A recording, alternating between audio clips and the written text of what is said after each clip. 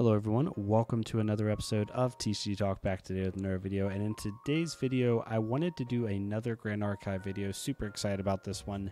I'm just going to do kind of part one and maybe like a three or four part series of going over each champion in the game. I'm going to kind of give an overarching archetype perspective. I'm not going to go into the weeds of every single level of the champion and different archetypes you can do, but I want to be able to give people who maybe are new to the game or searching for some content in the game, like, you know, what is the basic feel of this champion? You know, if, if I, you know, everyone plays a trading card game and they want their deck to have a theme or like some type of thematic or some type of mechanic that they enjoy. So I'm trying to approach showing off these champions from that perspective, and hopefully I can do it for you today will let me know in the comments down below whether I do or not. But if you're new to the channel, welcome. Thank you so much for stopping by. Hopefully, you enjoy your stay.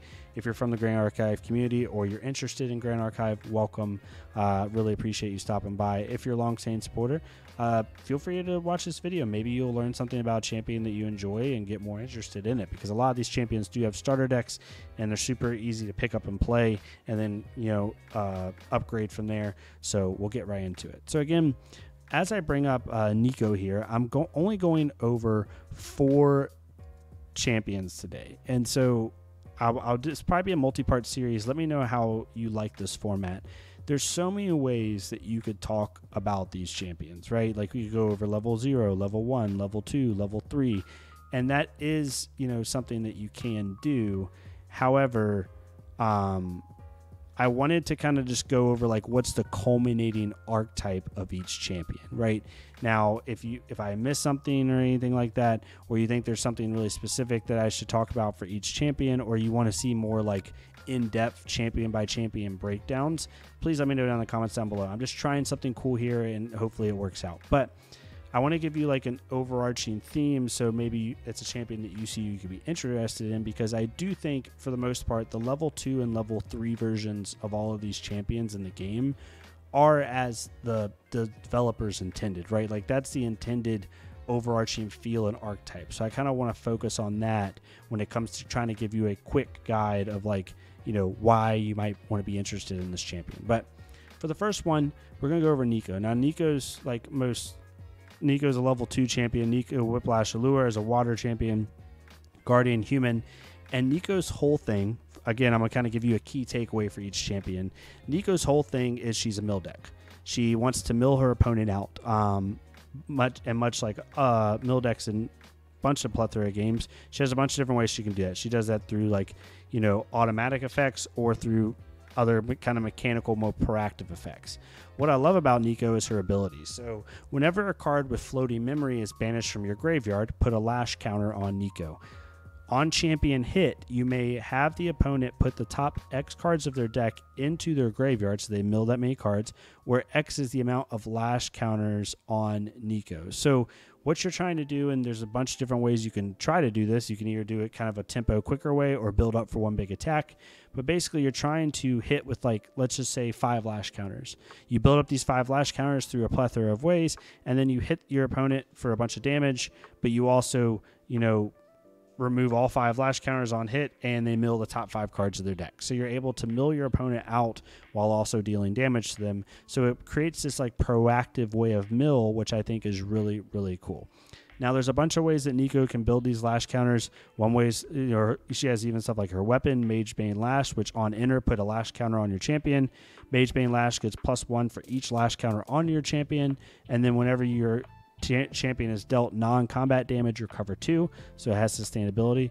So if you bring this in when you have four lash counters, it goes up to five lash counters. All of a sudden, this is swinging for five, and if it hits, you deal five damage to your opponent, and you also, if they didn't prevent any, any of it, and then you also mill the top five cards of their deck, and then reset your lash counters. So it's a really cool, proactive way of doing it. Um, you also have cards like Fractal Rain uh, that say at the beginning of your recollection phase, if Fractal Rain is imbued, target player puts the top card of their deck into their graveyard. So Nico is going to want to mill herself a little bit because she wants to get those cards with floating memory in her graveyard so she can banish them to then build up those lash counters again. Floating memory can be banished in a bunch of different ways. It can be banished through materialization for during your material deck uh, for putting out some of your equipment, right? You also can just do it through other card effects uh, to be able to have these really big attacks. Uh, some of her key cards, her most promising or her most like you know declarative one kind of her culminating card is ravishing finale. As an additional cost to activate this card banish two cards of floating memory from your graveyard so you'll make two lash counters um, on champion hit for each damage counter on the hit champion their controller puts the top two cards from their deck into their graveyard. So, by my understanding of this card, let me know down in the comments below, because um, I am newer to the game, obviously. If you hit a champion, you're hitting them for six. Let's just say it's six, right? They only have six counters on them when this hits. It will not only, let's just say, for argument's sake, you don't, you have no lash counters before you play this card, and you you play this card, you banish two cards of floating memory, gaining two lash counters. Then this hits they go up to six damage counters. So they banish two cards for each damage counter. So for each damage counter the hit champion, their controller puts the top two cards of their deck into their graveyard. So if they have six counters, they banish the top 12, by my understanding, plus the top two from the lash counters from Nico's ability.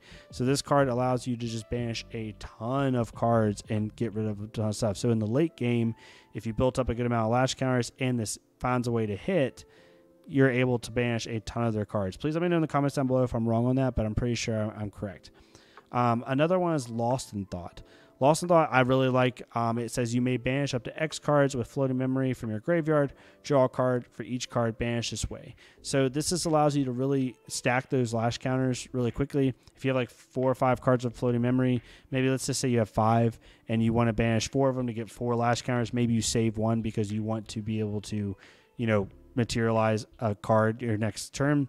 Um, you'll create four lash counters and you'll get another floating memory card in your uh, grave. So you can see this engine of like milling yourself, getting those floating memory, using those floating memory to get lash counters, using those lash counters to then hit them when you hit them to banish top cards of their deck. So you have this really proactive mill strategy that's a lot more interactive than you see in a lot of other mill decks in other trading card games, which I really enjoy.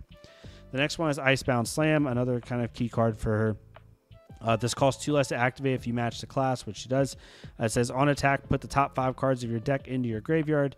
Then, if there are five or more water element cards in your graveyard, it gets plus five. So this comes is a five for eight essentially that then mills the top five of your deck, which again helps because if you mill floating memory cards, you're going to be able to then banish them to create more lash counters, so on and so forth. So you have this really proactive mill strategy that also allows you to play a little bit combo esque. So if you like mill strategies and you like active mill and active kind of fatigue plans, Nico, I think is a really good pick for you. The next one, second out of fourth champion, we're going to do four champions today. This is number two. Uh, this is Jin Undying Resolve. This one was just released, uh, Immortal Ambition. It's a War Human champion. Uh, Jin has, you know, several levels to him, no pun intended, when it comes to what he's doing. I'm not going to show off every single level, but Jin's overarching archetype uh, at a base, right, is two things. One, he's using pole arms, either through attacks or weapons, in order to but like have these big attacks, but then also give little mini buffs to some of his uh, other allies. Because whenever Jin, from level one on, whenever Jin attacks with the first time Jin attacks with a pole arm weapon or pole arm attack, he can give a plus one buff for that turn to a to a human or horse he controls. Um, but his other overarching thing is at level three. So he has access to the Exia element, advanced element. It's a very strong element that has some insanely uh, big attacks if done correctly. The one thing is, as long as it's not your end phase, Jin has immortality. So once you get to level three, you you get this ability, and what this does is two things. One, that means you cannot die until you're in phase. Like if your opponent, if you have, if your life is 28, as you see right there, you can go up to 28 damage counters. If your opponent gets you to 28 damage counters on their turn, the game is not over, and it does not end until your next turn ends. So you have until your end of your next turn to either one, kill your opponent, or two, get your damage counters back below your max and then you still live. So if they get you up to 30 and then you recover 5 down to down to 25 but before the end of your turn, you don't die, which is really really good. So it creates this game state where Jin can a either try to have a good clapback to finish the game when their opponent overextended to try to kill you or at least threaten to kill you, or B play with his life in order to buff a lot of his attacks because a lot of Jin's or pretty much all of Jin's Exia offensive weapons have to do with how many damage counters you have on you. So one good example of this is Bloodbond Bladesworn, such a tongue twister of a card. Uh, it's a warrior human ally. It says has a class bonus for warrior. It says blood bond, blood bond, Bladesworn gets plus one for every 10 damage counters on your champion. So for argument's sake, let's say your opponent hits you a lot and you went up to 30 damage counters, and then you play this card. On your turn, this would now be it would get plus three because it gets plus one for every 10 counters and you're at 30 it's coming in for 6-6 a three drop 6-6 in this game is unbelievable. Insanely good rate. It also has the ability of whenever bloodbond Bladesworn is dealt damage deal that much to your champion. This sounds like a really bad thing but when you have a, a champion that cares about dealing damage to itself so it can buff its attacks and kill the opponent before it dies itself it's a really cool also from a lore aspect this champion isn't like you know, sadistic or a, a mass, how you say it, whatever the word is. It's not like a sadistic version of dealing damage to itself. It's a noble version. Jin is fighting for someone he cares about in the lore, and that's why he has an undying resolve and he will not die. Kind of like Tryndamere in League of Legends. Um, another really cool card is Shang-Chi of Sacrifice. This card is insane. Uh, it's a warrior polearm, so it triggers Jin's level one ability of giving plus one whenever you attack with it to a ally or a human ally or, or a horse. And it says for every five damage counters on your champion, Shang-Chi of Sacrifice gets plus one. So again, if we're at 30 damage counters when we swing with this, it'll get plus six because every five counters, right? Five times six is 30. So it'll come in for seven at a base. And that's not counting if you buff it with like a Savage Swing or, you know, some other type of attack that then you target Jin to then attack with a weapon to be able to have these big, big turns. Shang-Chi also has this cool ability that says on enter, you may ha- deal five unpreventable damage to your champion uh, if you do draw a card.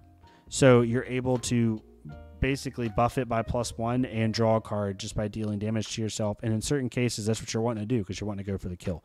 Really, really cool. Now, when it comes to now, there's a lot of other Exia cards I could show, but you know, how do you get to this point? How do you get to that level three Exia? Well, you use a lot of the fire package. You use cards like Creative Shock in order to filter and get more hand influence in order to be able to, you know, force yourself up to level up or be able to find the cards you need in order to level up faster.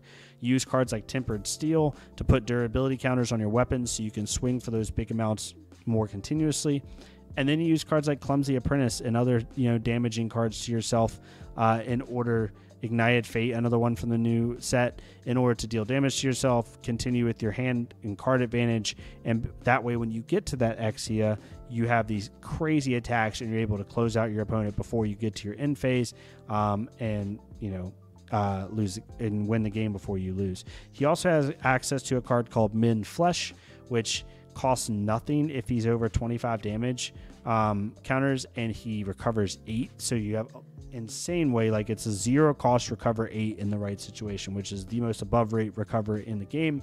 Super super good. So if you like aggro decks. Um, that maybe have a culminating like big bonk at the end, and but you also like a little bit of you know, uh, not self mill, but you know, using your own life as a resource to the fullest extent. Jin might be a really good ex- good one for you.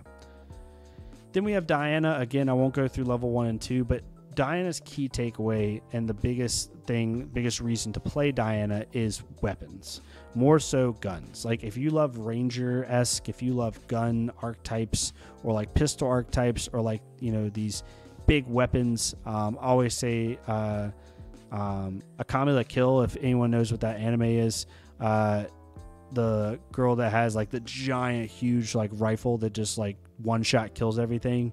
If you like that kind of style archetype, Diana is for you.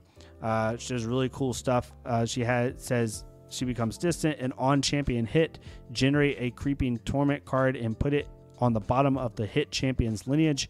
You have creeping torments which say on enter, put a creeping torment on the bottom of target champion's lineage.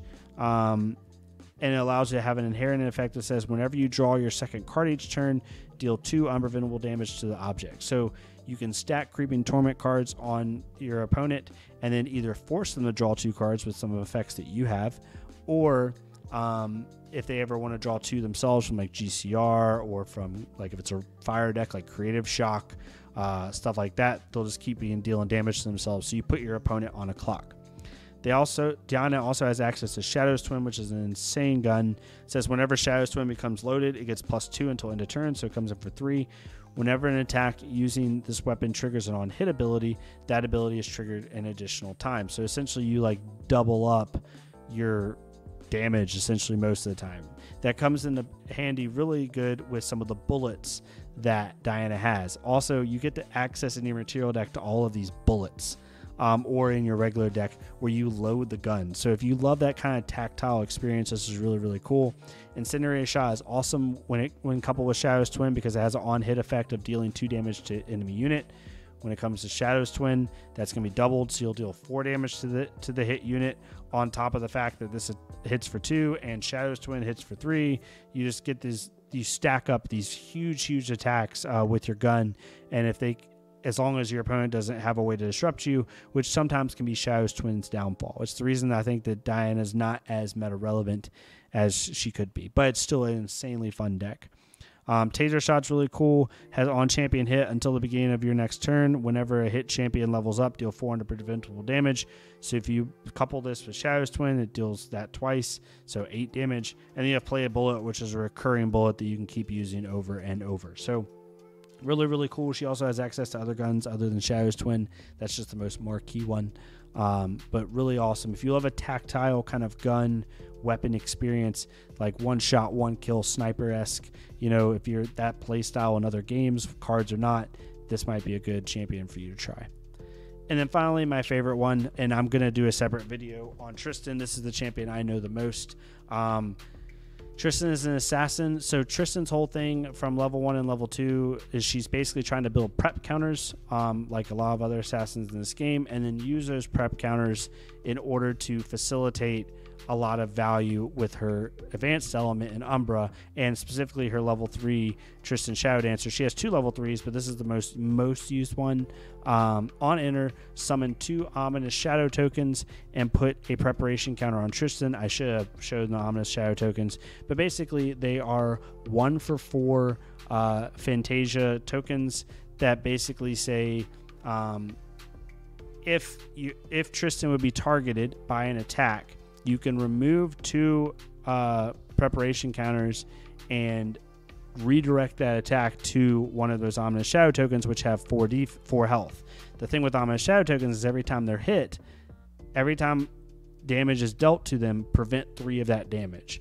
So if the ominous shadow token is hit for four, three of it's gonna be prevented. They're only hit for one. So you essentially have to hit them for like, in one instance, you would have to hit them for seven in order to kill them or hit and that's every instance so they're very very difficult. So basically so long as you have sh- preparation counters you can essentially just pre- almost prevent tristan from being hit. Now there's ways around some ways around it but typically um, that's how that works. You also can use your preparation counters offensively with cards like shadow strike. Shadow strike says prepare x x can't be zero.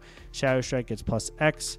If shadow strike was prepared it has unblockable. So basically you can use those uh, counters to prepare it. So let's say you have four preparation counters. When you cast Shadow Strike, you prepare it for four. Let's say you use all four of them, it'll come in for eight, which makes it unblockable and it ignores taunt. So Tristan will attack for eight with Shadow Strike, and then um, your Ominous Shadow tokens, which can attack for one, they only can attack if Tristan has hit this turn. So you'll attack for eight, and then each Ominous Shadow token will attack for one. So she has these tokens that, like, you know, it's like this kind of true assassin where you don't know where she's at because she's using her tokens to kind of wisp you away. But then when she goes in for the kill, she uses her tokens to then help kill you. Shadow's Claw is also really cool. As long as you have four more preparation counters on your champion, you may activate this card from your material deck. Fantasia allies you control um, can attack using Shadow's Claw. When they do, put a durability counter on Shadow's Claw. So it's just this reoccurring attack. Again, you can use cards um, like Grim Foreboding, which is really, really good. Summon another Ominous Shadow token. Fantasia allies you control get plus one until the end of turn, and you gain Agility three. Uh, so basically, you play this card and it create another Ominous Shadow, and then you couple it with Shadow Strike. So now Tristan will attack for let's just say you prep it four times. Tristan attacks for eight, and then each one of your Ominous Shadow tokens that normally attack for one will now attack for two. They also can use Shadow's Claw, so now they'll attack for three. So, and because you put a durability counter on Shadow's Claw every time you attack with it, um, it basically like doesn't go down in durability at all. So, on like a typical Shadow Strike um, Grim Foreboding turn, if you prep four, Tristan will swing for nine with Shadow's Claw. Then you can start swinging with your uh, with your Ominous Shadow tokens, they'll get plus one from Grim Foreboding. They have one themselves and plus one from Shadow's Claw. So you're swinging for three. So if you have three of those tokens, you're swinging for eight with Tristan and then three three times. So you're swinging for like 17 if it's not prevented or like has a way of uh, being dealt with. So you can get these super good offensive turns. She also use can car- use other really powerful Umbra cards like Shadow Reconnaissance and Haunting Demise for other outs. Shadow Reconnaissance allows you to recover two and then draw a card. If your champion has four more prep counters, you can summon another token. Um, Haunting Demise uh, basically is similar to Diana's effect, where it puts your opponent on a clock on champion hit, put a haunting demise on the bottom of the on hit champion's lineage, and it says at the beginning of your recollection phase, deal one unpreventable damage. So basically, however many counters they have until they die, that's how many turns they have left, no matter what happens. So how do you get to this point? Well, you put prep counters on your on her in order to then pop off when you get to that Umbra element. She's able to do this with cards like Black Market Broker. Um, Surveil the Winds is really good. Windwalker Boots. This deck, in my opinion, does not function as well without this card. Um, at the beginning of your end phase, if your champion is awake, put a prep counter on them. So you just continuously gain prep counters every turn. So you just basically never banish this card unless you have to, uh, if you really need that card draw but really, really good. And you're able to survive doing all of this by using the wind element, using cards like Dream Fairy and Veiling Breeze and Reclaim, these kind of controlly tools in order to prevent your opponent uh, from doing what they want to do until you get to that big Umbra element. So hopefully this made sense. I hope you enjoyed this. Um, I again, you could make a two hour video on one on one champion. You really could. And I'm trying to give people kind of a quick snapshot on like the pinnacle of each champion, right? If you would like me to go more in depth on one of these champions, like go over their level one, go over their level two, go over the level three, please let me know down in the comments below. Um, but I am going to do probably a part two and part three to this series where I go over more champions as far as their pinnacle archetype and like what they're all about. Um, but if you enjoyed this, please let me know. I'd love to hear it. If you didn't enjoy this, if you think it's a little bit too confusing or just too general, also let me know that. I'm trying to do kind of a different style of champion overview than I've seen other creators do in the game. So hopefully this was, you know, clear and concise enough for you. Um, even with me just barely going over four champions at like their height level three, you have a 22 minute video you know, so this could go on and on if you wanted to. But if you like this type of content, please leave a like, comment, or subscribe. If not me, it's totally fine. Go to another Grand Archive creator, leave a like, comment, subscribe on their stuff. Let's get more people playing this game, having fun with it. And yeah, I'll see y'all next time on TC Talk. Y'all be safe.